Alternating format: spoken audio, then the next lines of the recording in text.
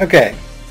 First, relieve the discomfort of a rich kid, This boy's condition is relatively then mild. maybe save a poor kid's life, if we have Too time. late to treat it with antibiotics. It would be best to perform an appendectomy. All right. Please begin the procedure. Please prepare to extract the appendix. First, inject First operation could be described as a tutorial for the procedure. Next, we'll be cutting Just gotta follow the instructions and it's quite easy to do it. tie two wires around the appendix. However, they must be tied in the appropriate places. One goes around the base of the organ. One part that might be a little tricky is this, because it's not obvious how you do it. You just hold A and drag the pointer away from the spot until you get an OK. Now the appendix has been the appendix has been affixed and then And then you do a patch to heal everything up and you're good. Uh, incidentally, the other wire, the second wire, goes around the organ itself if you didn't notice that. I kind of sped through that dialogue.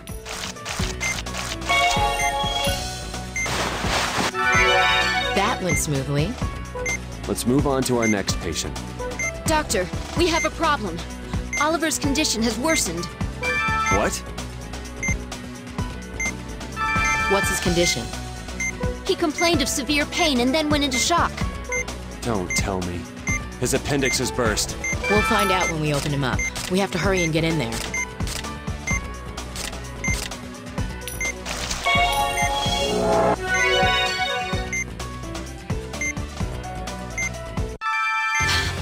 The pus is causing inflammation. It's peritonitis. Alright, I'm just going to pause this for a second. Inflammation and drain the Alright, so the whole wall of the abdominal cavity is inflamed because the appendix burst. You've got pus, and there's a special bonus for not allowing too much pus to form. You also have inflammation, which takes a long time to deal with and is caused by the pus. So you also have a special bonus for time, and the time and pus bonuses are therefore very linked. Uh, it's easier to do this with Markus because you can slow down time, and that allows you to get rid of the appendix, therefore stopping the pus before it becomes a problem. I'm using Val, so I need to be a little bit more clever. I didn't actually get the bonuses this time though. the pus. The appendix needs to be removed as well.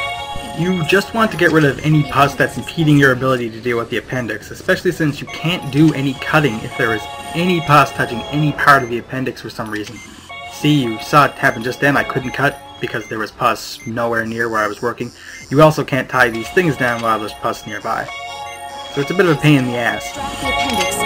It's vitals. This is where I like to use Valerie's Healing Touch, So we shouldn't uh, except the pus apparently doesn't stop forming until you actually place the patch because you can still see some forming. I didn't realize that. It's been affixed.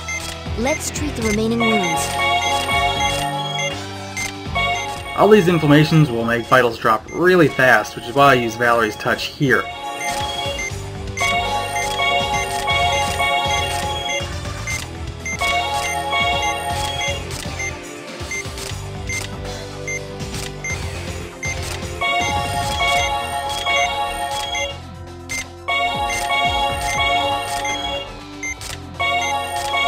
Appendectomy is complete and the peritonitis has been treated. Let's close him up. This boy is very lucky. If he'd waited any longer for surgery, he may not have pulled through. He'd be even more lucky if we treated him first, like sensible people.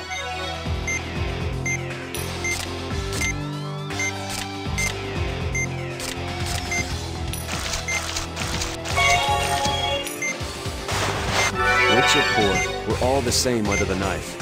Never thought such a simple operation could put me on edge like this. I think we've all learned something from this operation. Thus ends one of my favorite chapters, and I was 11.1 seconds over time.